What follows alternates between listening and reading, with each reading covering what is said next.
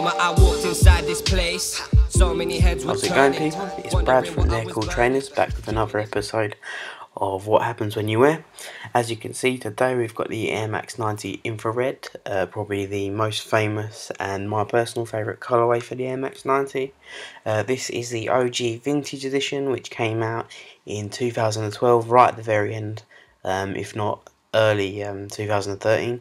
Just to give you a bit of background on the amount of wear these have had. Um, I did wear them every day for work for about six months, so they become beaters of some sort.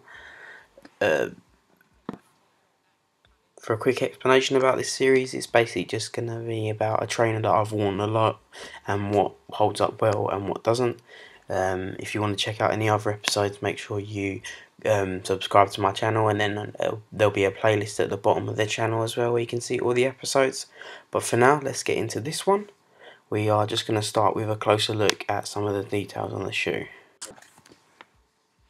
So this is just your basic um, classic uh, Air Max 90 infrared.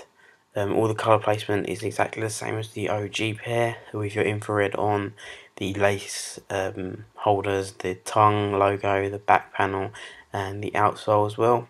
As well as the inside, as you can see Nike Air on the inside isn't holding up very well but that grey suede and black leather is.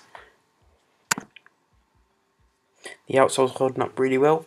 Uh, there is some slight wear on the forefoot and then you've got some heel drag at the back as well but considering the amount of wear they're good. Overall the um, infrared sections of the shoe are holding the colour really well, the midsole, back panel and the logos as well. Uh, these have been worn in the rain and all colours are holding up well, still vibrant and cool. One thing that is an issue with these particular edition pair is the mesh. It is an OG style mesh, which means it's nothing like the newer um, Air Max 90s with the new mesh. Basically, this is really hard to clean. I did get a big stain on one of the toe boxes and it was so hard to clean.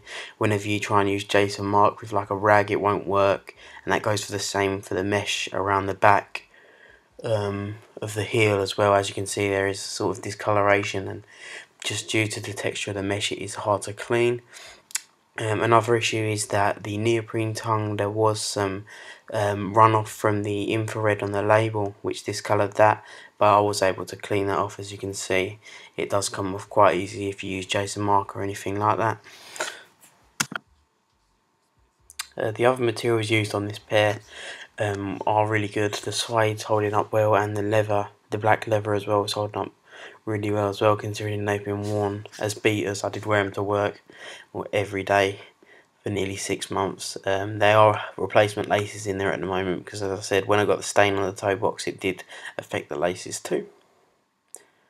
Alright guys so this is a short episode of what happens when you wear. Just wanted to get um, something different out there as, as opposed to an Air Jordan. If you enjoyed it make sure you leave a like and until next time remember they're called trainers girl, you know what's up. You know about my money. You know about fuck this.